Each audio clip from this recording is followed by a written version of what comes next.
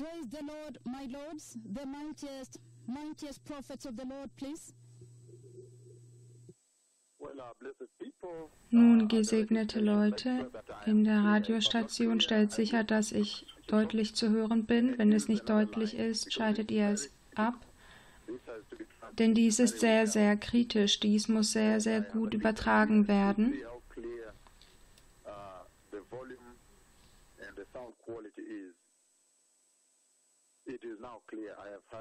Es ist jetzt deutlich. Und nun, gesegnete Leute, heute ist der 20. November.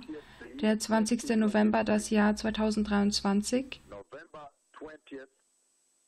Der 20. November, das Jahr 2023. Und der Herr, der Allmächtige, hat in einer sehr, sehr enormen Weise mit mir gesprochen, in einer sehr mächtigen Weise, in einer sehr besonderen Weise, in einer sehr extraordinären Weise.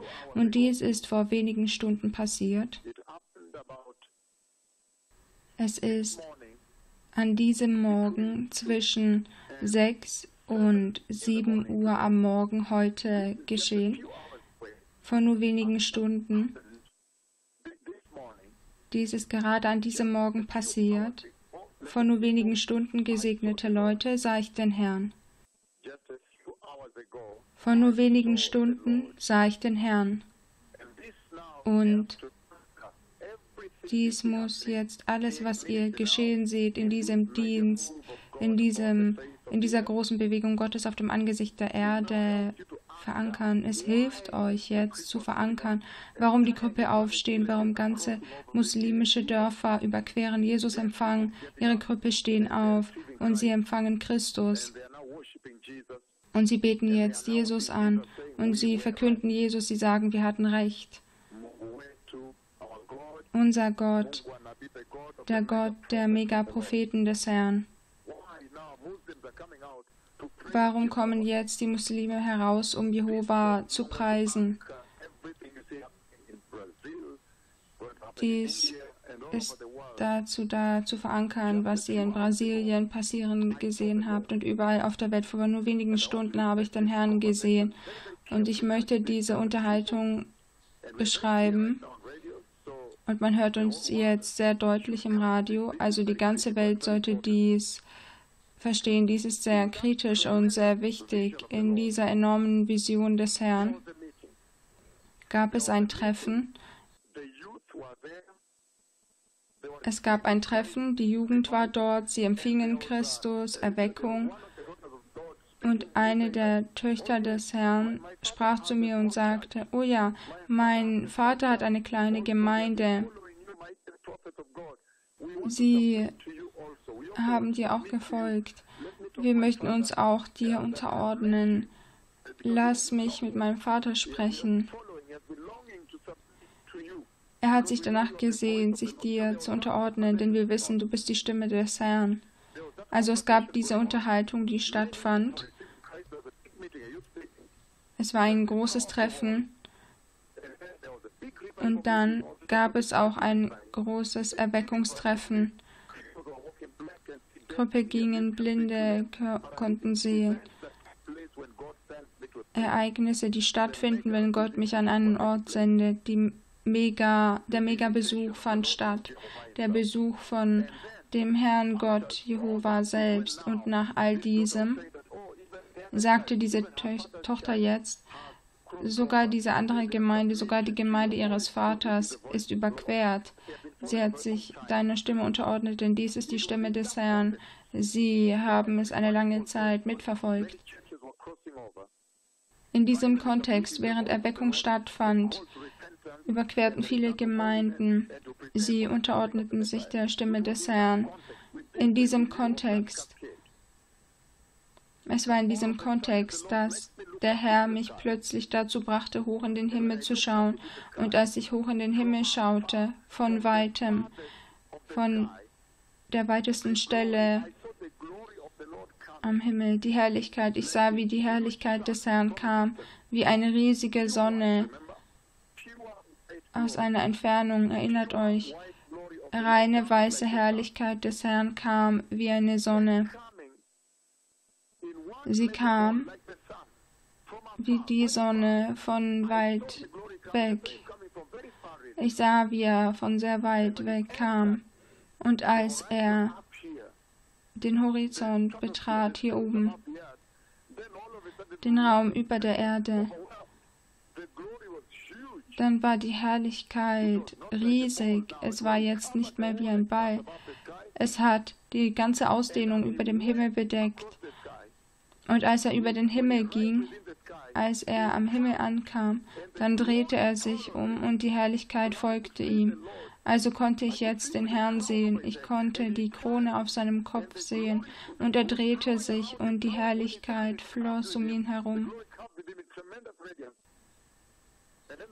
Und dann in diesem Moment, als er stoppte, hob er seine rechte Hand. Er hielt an am Himmel und hob seine rechte Hand und dann rief er seine Braut. Und in vielleicht Nanosekunden, unmessbare Zeit, wurde die Gemeinde genommen und es war fertig. Sie gingen zurück nach oben. Aber er hielt an am Himmel, er hielt an am Himmel und er hob seine rechte Hand, er hob sie so hoch, mit seiner Krone auf dem Kopf, mit der goldenen Krone, und als er seine rechte Hand hob, rief er dann seine Braut, und in einer Zeit, einer unmessbaren Zeit, in einem Blitz wurde die Gemeinde genommen und sie ging und verschwand. Sogar die Weise, wie sie verschwand, war so schnell mit der Herrlichkeit. Also ich habe das Kommen des Messias gesehen, gesegnete Leute. Dies ist sehr ernst, was der Herr gesagt hat am 20. November. Sehr, sehr ernst. Sehr ernst gerade, gesegnete Leute, was der Herr Jehova an diesem Morgen gesprochen hat. Vor nur wenigen Stunden habe ich den Herrn gesehen. Ich habe den Herrn gesehen. Vor nur wenigen Stunden, gesegnete Leute. Was der Herr gesprochen hat, ist sehr groß, sehr enorm sehr mächtig. In anderen Worten, der Herr sagt, es wird eine Realität werden. Das Kommen des Messias wird endlich realisiert werden. Seitdem der Herr uns auf dieser Mission gesandt hat, die zwei mächtigsten, größten Propheten von Jahwe, von dem Regen, von der Wolke, der Prophet von den Krüppeln, sind, von den Krüppeln, die gegangen sind, die Blinden, die gesehen haben.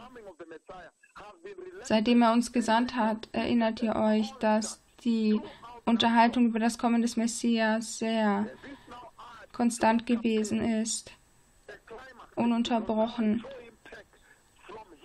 Und dies ist jetzt der Höhepunkt, den ich sah, wie er sie nahm.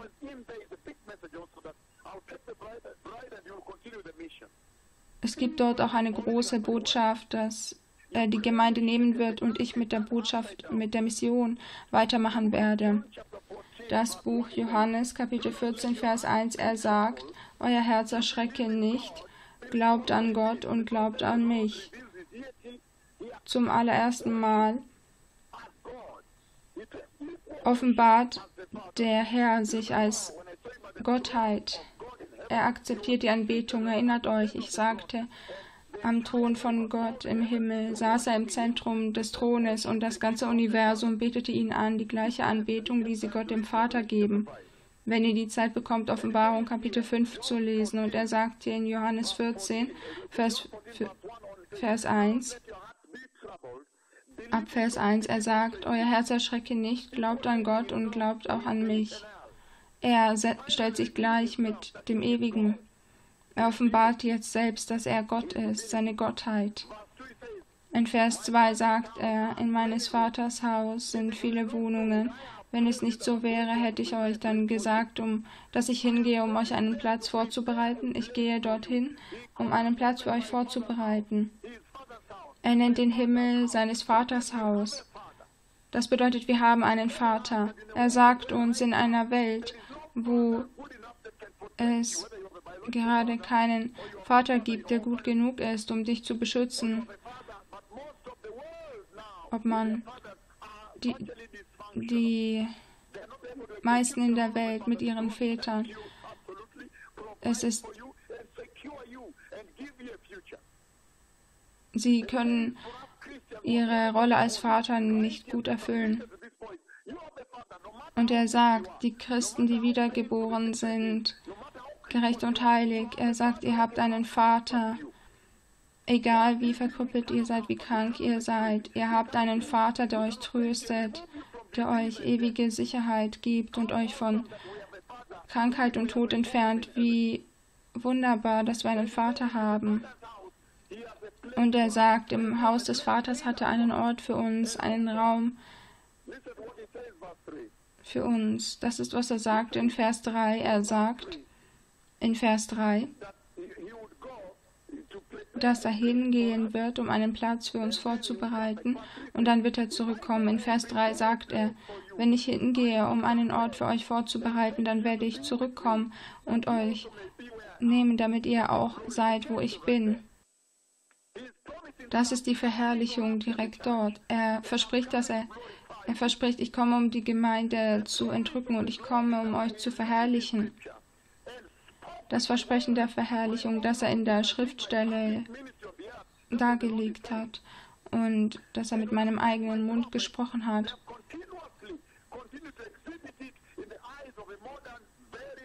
Als ich meine Propheten gesandt habe, haben sie dies in den Augen einer sehr sündhaften Generation gezeigt. Sie wurden verklärt, um eine verdorbene Generation zur Herrlichkeit zu zeigen, hinzuweisen. Nochmals, um euch zu verstehen zu geben, dass euer Fokus die ewige Herrlichkeit sein sollte, die niemals vergeht, die Sicherheit bringt. Er verspricht hier, bei der Entrückung, wenn er hochging, um einen Ort für euch vorzubereiten, dann wird er zurückkommen, um euch dorthin zu nehmen, wo er ist. Und an diesem Morgen hat er mir gesagt, dass diese Stunde zu kommen und euch dorthin zu bringen, wo er ist. Diejenigen, die wiedergeboren und dieser Stimme untergeordnet sind, er sagt, diese Stimme ist nah, diese Stunde ist nahe herbeigekommen. Man kann die Eile fühlen, die Dringlichkeit in der Unterhaltung. Ich habe den Herrn vor wenigen Stunden gesehen, wenn man es in Minuten umwandelt, vor wenigen Minuten. Ich habe an diesem Morgen den Herrn gesehen, gesegnete Leute, was für eine großartige Generation, dass einer vortreten kann und sagen kann, ich habe den Herrn gesehen. Man liest es in den Schriften. Aber diejenigen, die gesagt haben, sie haben gesehen, wie er kommt, sie haben gerade Krüppel erhoben in Kenia, überall, als Beweis, dass sie vom Himmel sprechen. Und nun der Messias kommt. Und das ist das gleiche Versprechen, das er in 1. Thessalonicher Kapitel 4, Vers 18 gibt. Also diejenigen, die weise sind, dies ist die Stunde für Buße. Dies ist jetzt die Stunde zu gehorchen und Rebellion aus eurem Leben zu entfernen. Es wird euch ewig verletzen. Schaut, was in Israel passiert. Nur der Vater kontrolliert die Zeit. Ihr könnt nicht sagen, oh, du musst zuerst nach Indien gehen. Nein, Gott ist souverän. Er kann alles verändern, jederzeit, wie er möchte, damit es seine prophetischen Agenda, damit es zu seiner prophetischen Agenda passt. Deshalb möchte ich die Leute jetzt zum Herrn leiten. Bereitet den Weg vor. Diejenigen, die den Herrn jetzt empfangen wollen, wiederholt nach mir, sagt, mächtiger Herr Jesus, ich habe dein Wort gehört und ich habe die Botschaft empfangen, die du an diesem Morgen der Erde gegeben hast, am 20. November 2023, dass der Messias kommt und wir bereit sein müssen. Und deshalb tue ich Buße für meine Sünden heute und kehre ab von der Bosheit und Schlechtigkeit und lehne Sünde ab. Und ich empfange dich, mein Herr Jesus, in mein Herz. Ich empfange dich mit Dankbarkeit und Demut und Ehrfurcht und Ehre als meinen Herrn und Retter. Herr, etabliere Heiligkeit und die Furcht Gottes in meinem Leben und gebrauche mich, um viele weitere Menschen zu erreichen, damit sie Christus Jesus empfangen von Nazareth, unserem einzigen Herrn und Retter. Herr, bringe mich dazu, dass ich standhaft bin. Behalte meine Augen auf den Himmel gerichtet. Mögen meine Augen auf den Himmel gerichtet sein. Entferne alles, was Gleichgültigkeit, Selbstgefälligkeit in meinem Leben darstellt und bringe mich dazu, 24 Stunden, sieben Tage die Woche bereit zu sein, mein Leben so zu leben, als könntest du in jeder Sekunde von jetzt an kommen, in jeder Sekunde von jetzt an. Ich empfange dich, mein Herr Jesus, und ich preise dich für Golgatha. Ich empfange das Geschenk des ewigen Lebens, das du mir auf Golgatha gegeben hast, und bitte dich, mein Herr Jesus, meinen Namen im Lebensbuch des Lammes zu bewahren. Bewahre ihn dort, damit an diesem Tag, wenn ich in die Herrlichkeit komme, ich Gemeinschaft mit dir habe, darüber, wie viele Leute ich zu Jesus geleitet habe und wie ich dich den Leuten vorgestellt habe. Im mächtigen Namen von Jesus bin ich wiedergeboren. Amen. Der Herr hat gesprochen in einer sehr schockierenden Weise, gesegnete Leute. Ich habe den Herrn heute gesehen, vor nur wenigen Stunden, wenn man es in Minuten umwandelt, vor nur wenigen Minuten. Ich habe den Herrn gesehen. Ich habe gesehen, wie er am Himmel kam mit seiner Herrlichkeit und dann drehte er sich. Er drehte sich nach rechts und die Herrlichkeit floss über den Himmel und er hob seine rechte Hand. Er trug die goldene Krone und er nahm die Braut und er ging in einer Zeit, die man nicht messen kann. Sie sind verschwunden in den Himmel. Hat der Herr euch nicht gewarnt? Was für eine großartige Zeit. Wir feiern. Die Freude der Erweckung hat das Land erschüttert. Die Muslime kommen endlich zu Jesus, die Krippe gehen kostenlos und alle Christen feiern den Besuch Gottes und zu solch einer Zeit kündigt man an, dass der Messias kommt. Der König kommt, gesegnete Leute, lasst uns weiter feiern. Die Tatsache, dass der König kommt, er kommt, um euch zu retten. Egal wie schlimm die Erde ist, er kommt, um euch in die ewige Sicherheit, ewige Herrlichkeit, in das ewige Königreich, in das ewige Leben, in die ewige Gemeinschaft mit Gott zu bringen.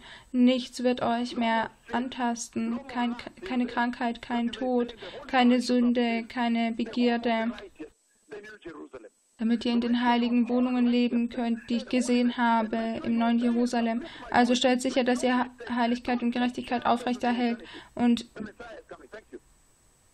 geht keine Risiken ein in Bezug auf eure Ewigkeit. Der Messias kommt. Danke.